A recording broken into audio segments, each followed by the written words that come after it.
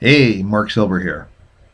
You know, we sell a lot of GPS receivers, and about 25% of the time when we sell a receiver to a customer, they'll call us up and they'll say, Hey, why is my brand new GPS receiver measuring elevations that are about 70 feet off from reality?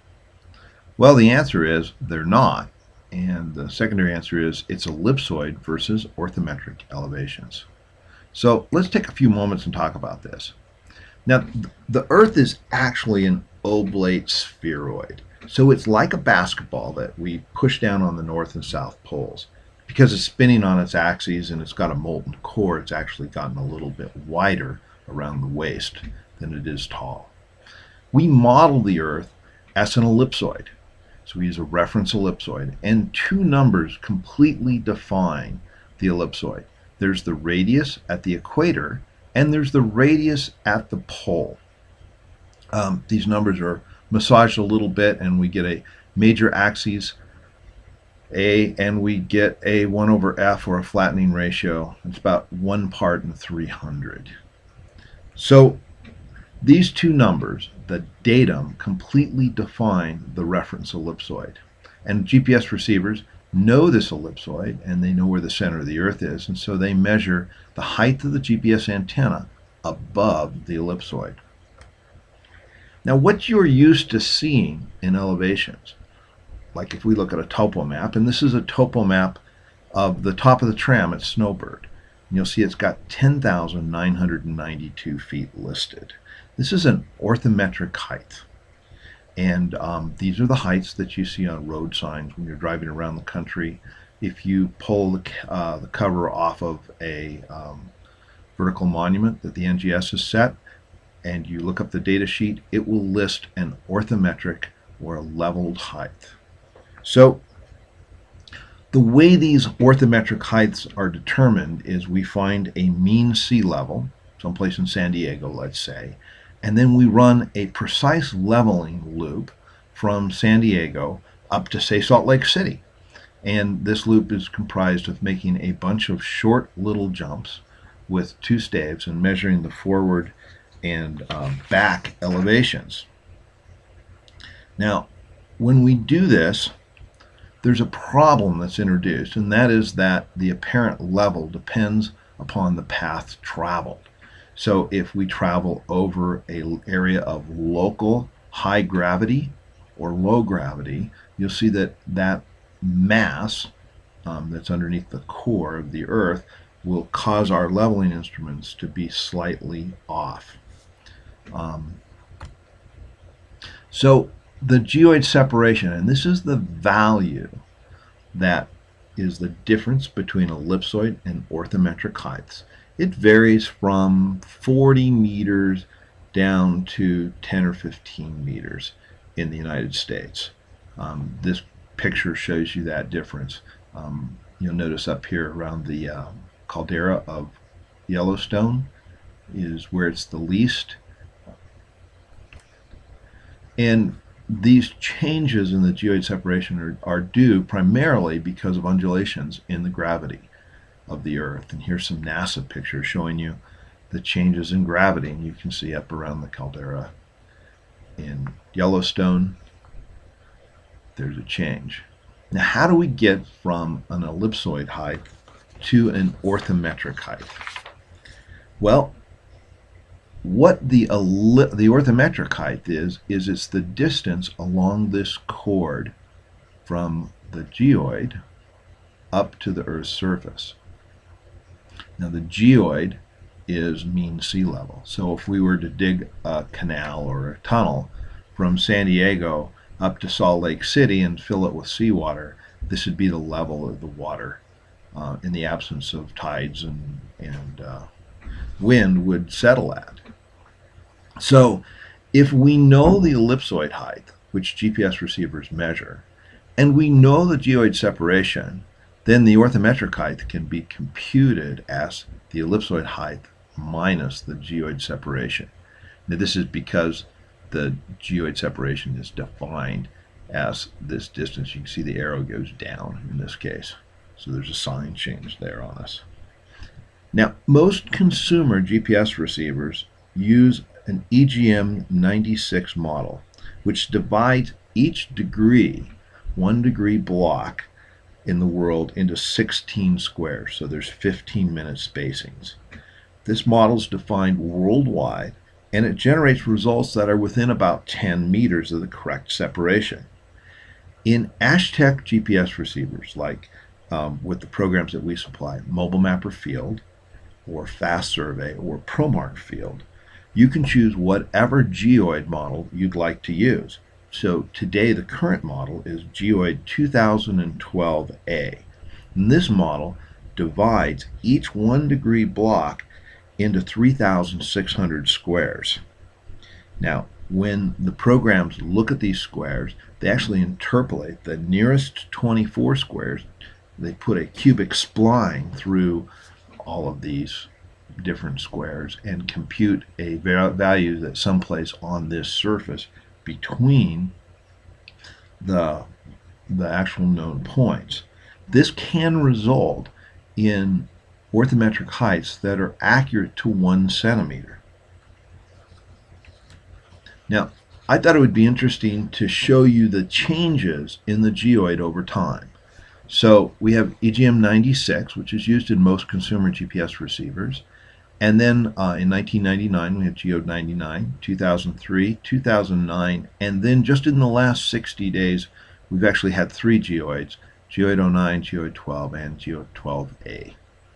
So what's the difference between these? Let's assume Geoid 12A is perfect or correct uh, in Salt Lake City. This point's up in the hills a couple miles from here. In Salt Lake City, uh, Geoid 12 was exactly the same result.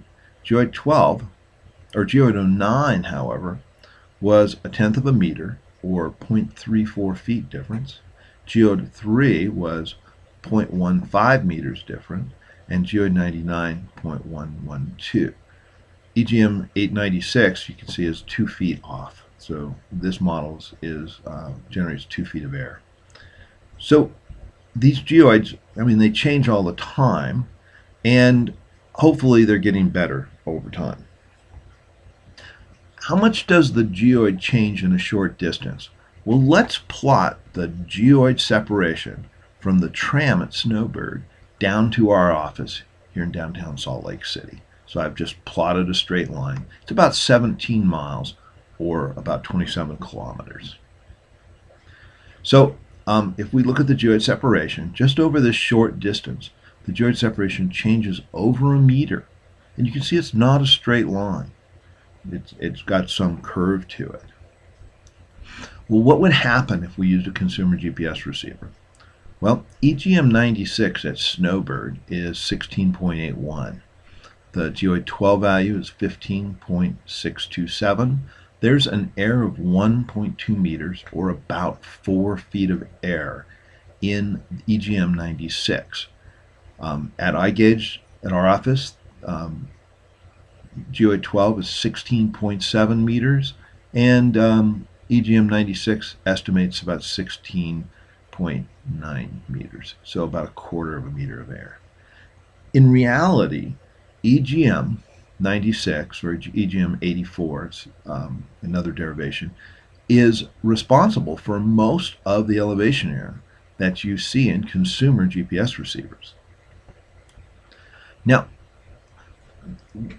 we're always going to have this problem of different geoids being used with ellipsoid elevations. Why don't we just use ellipsoid elevations to model the Earth and take the answers we get from the GPS receiver? Well, I've got a topo map here, and this shows the Great Salt Lake, which is just west of where I'm at. And um, if you look here, it's about 90 miles from the north end to the south end here. And the geoid separation value changes from 15.7 to 17.5 meters across the surface of this lake. Now, in the absence of tides and in the absence of uh, wind, this lake will settle to an even area. And the problem with the ellipsoid is that water does not necessarily flow downhill in ellipsoid space. So I think that all of us would like to have elevations expressed in a way that if we have a large lake, um, the, the lake level around the lake, in the absence of wind and tidal variations, would be at a constant elevation. So um, that's why we don't necessarily use ellipsoid elevations. Now, if you're collecting data in the field, I'd suggest that you store your data as ellipsoid elevations and just always keep this an ellipsoid elevation. And then when you want to have an orthometric height, you can use the geoid you know, the geoid that's the best geoid at the moment that you want an orthometric height to convert to an orthometric, orthometric elevation. Now, if you're using MobileMapper Field or ProMark Field, there is, um, if you go to the web, and I'll show you this, this link here in a second, but you can install a geoid from an Ashtech website. You'll actually install the geoid model, and it's, it's tens of megabytes in size for just the United States. And then you can pick the vertical datum that you're going to use as part of your job. So here's our horizontal coordinate system. There's also a vertical coordinate system or a vertical datum. I've chosen Geoid 09. You need to choose this during the job setup. And then when the GPS receiver measures an ellipsoid height, it will apply the geoid to that ellipsoid height and calculate an orthometric elevation for you. If you're using ArcPad, you're somewhat limited because all you can do is enter one geoid separation value.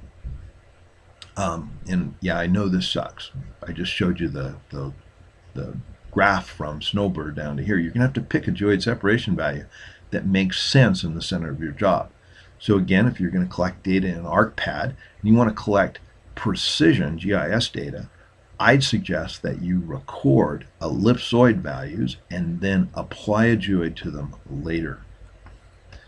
Um, if you're using FastSurvey or Carlson SurvCE, um, the best way to implement a geoid is to subset the geoid using the geoid extractor tool. And I'll show you where that is in a second. And that's going to generate a geoid separation file, a .gsf file. You can place that on your mobile device. And then under the equipment and then localization on the GPS tab, you can choose a geoid file. Now, in uh, FastSurvey and Carlson SurvCE, we usually subset about a quarter of a western state or a third of a western state. So I've got Utah, Geoid 2009, and then I've got the central region extracted out as a single file. If we put a giant file that's got the whole state on it, it will take the program an extra minute to open every time we start it. So let's um, cancel out and look at some web resources for geoids. First off, um, if you're trying to get to the geoid file, if you go to um, or the Ashtech web geoid location, you don't need to remember the long address we had before. Just remember my website, which is ashgps.com. If you roll down here, there's a link that says Geoid Tools. While you're here, if you haven't uh, put your email address on my uh, mail web list, probably wouldn't hurt to do it. I'll send you a couple notes a month or maybe one note a month telling you about new software that's available for Ashtech GPS receivers. Uh, let's see, where's my mobiler? I want to click on uh, Tools. So this will take you to the Ashtech website and um, you can choose the right geoid. If we go to the United States, we'll have Geoid 03, Geoid 09, we'll have Alaska 06, Alaska 09, and then a separate geoid for Hawaii. These geoids are built by um, the kings of geodesy, and they are the National Geodetic Survey, and their website is www.ngs.noaa.gov. Um, these guys are the smartest guys in the country. And if you go to uh, tools, they've provided us with some neat toolkits. So here's the Geoid 12A toolkit. And here we can type in a latitude and longitude, push a button, and uh, we'll get an online determination of the geoid separation. You can also input a comma separated or tab separated um, file and uh, the online tool will calculate the geoid separations for you there. Um, hopefully this will help you understand the difference between ellipsoid and orthometric heights. Um, some common questions and comments that I get from customers are, well, why doesn't the GPS receiver just take care of this on its own so I don't have to think about it. Well, I'm all for that, but there's a problem. Uh, one problem is we've had three geoids in the last 60 days, so the GPS would have to be pretty smart at picking the geoids, most people or many people may not want to use the latest geoid. Perhaps they've got a mining project and they've been using uh, G99 for since the beginning of time. There's no reason for them to switch geoids midstream and have to adjust all of their data. In addition, um, the geoids that um, cover the United States only cover the United States. There's separate geoids for Alaska. There's separate geoids for other places in the world. And many of these geoids overlap each other. So really you'd have to have a pretty smart GPS receiver to pick the right geoid um, to use with your system. The other thing is, is that I would warn you if you don't know which geoid to use, then how would you expect your GPS receiver to automatically pick the right geoid? Well, I'll see you in another video. Hopefully I haven't wasted your time. Thanks a lot.